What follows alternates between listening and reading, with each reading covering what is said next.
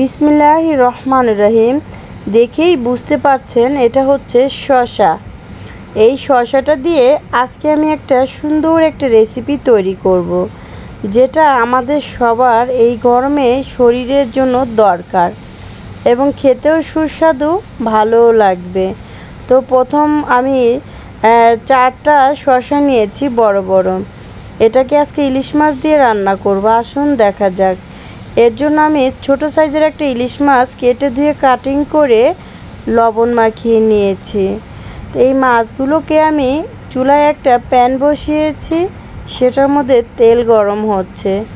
সেই গরম তেলের মধ্যে আমি এক এক করে আমার মাছগুলোকে ছেড়ে দিব। তো মাছগুলো এক পিঠ ভাজা হয়ে গেলে আরেক পিঠ আমি উল্টে নেব। উল্টে দিলে আলতোভাবে এই কাজটা করতে হবে। না হলে তো মাছগুলো ভেঙে যাওয়ার সম্ভাবনাই বেশি। মাছগুলো দুপিট ভাজা হয়ে গিয়েছে। এখন এগুলোকে আমি উঠিয়ে নিলাম।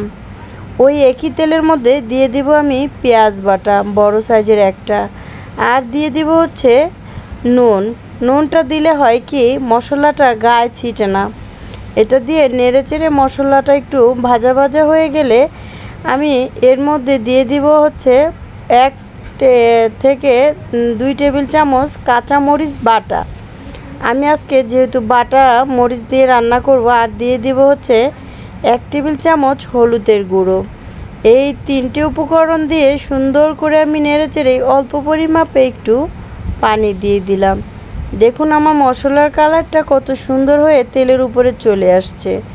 তারপরে আমি দিয়ে দেব আমার কেটে রাখা সেই শশাগুলো শশাগুলো সুন্দর করে ফালি ফালি করে নিয়েছি, একটু বড় সাইজে নিয়েছি। আর হলো ভিতরের যে বড় বিচিগুলো ছিল, ওগুলো আমি ফেলে দিয়েছি। তো এখন আমি শশাটাকে সুন্দর করে কষিয়ে নেব। কষানোটা যত সুন্দর হবে, রান্নাটাও খেতে তত ভালো লাগবে। আর উদাম করে ঢাকনা ছাড়া কষালে হয় কি শশার যে একটা ফ্লেভার আছে, সেটা চলে যায়। এরপর আমি ঢেকে ভালো করে আবার একটু কষিয়ে নিলাম। প্রায় সিদ্ধ হয়ে গিয়েছে আমার। তো এরপরে আমি এই কষানো তরকারিটার মধ্যে দিয়ে দেবো হচ্ছে পরিমাণ মতো পানি। পানি দিয়ে এটাকে ভালো করে নেড়ে চেড়ে বলক আসার অপেক্ষায় থাকব। তরকারিটা যখন সুন্দর করে বলক চলে আসবে, তারপরে আমার যে ভেজে রাখা মাছগুলো, এগুলোকে আমি আস্তে আস্তে করে বিছিয়ে দিব সুন্দর করে। মাছগুলো বিছিয়ে টক বগিয়ে বলক চলে আসছে। তার মধ্যে দিয়ে দিলাম কাঁচামরিচ।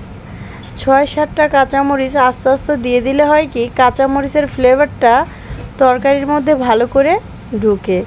তো এতে হয় তরকারির স্বাদ দ্বিগুণ বেড়ে যায় ফ্লেভারটার জন্য।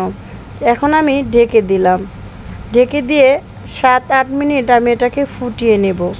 তাতে মাছের ফ্লেভারটা শসার মধ্যে ভালো করে যাবে। তো দেখুন কত সুন্দর হয়েছে আমার রান্নাটা। আপনারাও বাসায় এভাবে ট্রাই করবেন। তো আজকের মতো এই পর্যন্তই।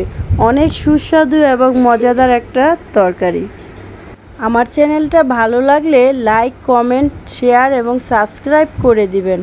তো ফের কখনো ফিরে আসব নতুন কোনো এক রেসিপি নিয়ে। আসসালামু আলাইকুম।